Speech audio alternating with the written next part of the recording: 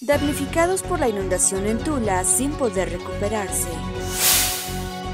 pese a que autoridades de los tres niveles aseguran que la emergencia derivada de la inundación de Tula, la cual ocurrió en septiembre del año pasado, ya está superada, los damnificados indicaron que eso no es verdad, pues cada día surgen necesidades que los afectados no pueden cubrir.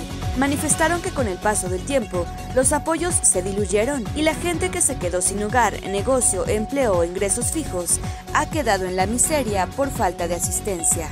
A seis meses de la anegación, Tula sigue en emergencia, no está de pie.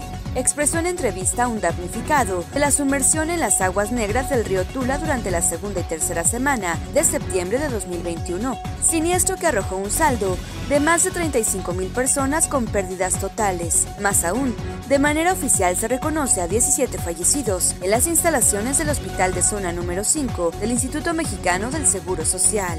Para Angélica Marisol Salazar Huerta del fraccionamiento Rancho Chapultepec, las carencias de los damnificados siguen siendo casi totales, porque nadie los ha ayudado quien ha salido adelante ha sido por propios medios, indicó. La afectada aseveró que el alcalde carece de empatía y en seis meses no ha sido capaz de atender las necesidades mínimas de su pueblo, mismas que el 6 de septiembre cayeron en desgracia.